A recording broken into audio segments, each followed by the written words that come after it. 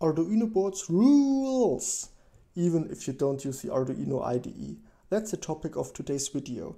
So first I have to make a confession.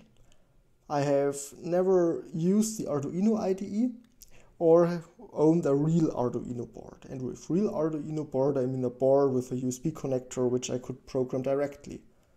But here on my channel, you know I sometimes use Atmel or Microchip AVR or 8-bit microcontrollers if I need a microcontroller doing a small task like acting as an I2C device or SPI device or for my AVR advanced calendar. And there normally I just use um, or I just buy the Atmel microcontroller in a dual inline package and put it on a breadboard like this Atmega 48PA microcontroller or this ATtiny controller here and for programming I normally use a in-circuit programmer like this USBasp programmer. But the disadvantage of this is you need some jumper wires, you have to do the wiring and if you mix something up, the connection doesn't work, you can program it and you have to troubleshoot.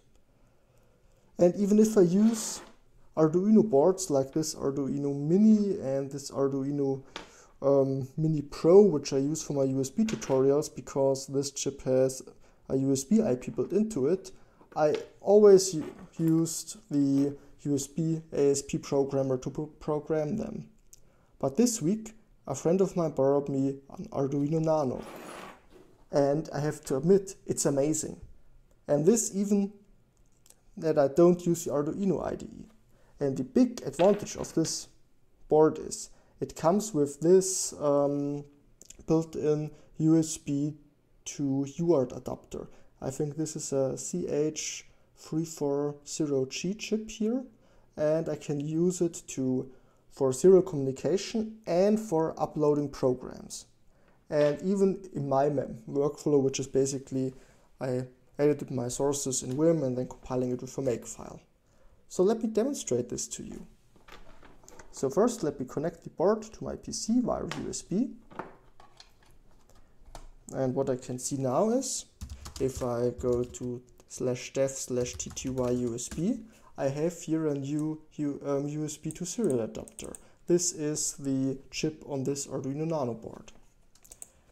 And now I can use A4 like I would for my USBasp programmer, but instead of the programmer USBasp, I use the programmer Arduino.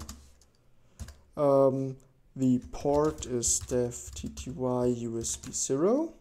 The baud rate is 57600 and my device, so on this board I have an Atmega 328P microcontroller, so the port is Atmega 328P and if I fire this and give it my password, I'm able to detect it. And the reason why I'm able to detect it is because on this chip there is a bootloader pre-installed which allows me to update the program over UART.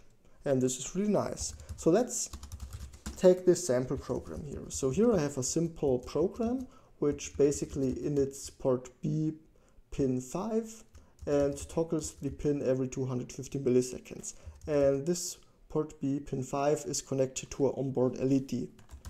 So I will build it with a simple makefile. If you're interested in this, I have done videos about it.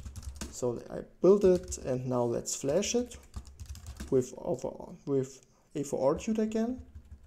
So here I have to specify the minus u flash. I want to write to the flash and I want to write the file led.hex.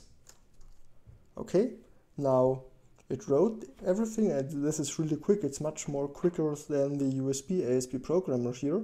And now you can see the LED is blinking twice a second. So I think this is a really convenient way to upload programs and if your program has a, or uses the UART interface for ex exchanging data, you don't need an external USB to UART adapter because the adapter is already built into this board here.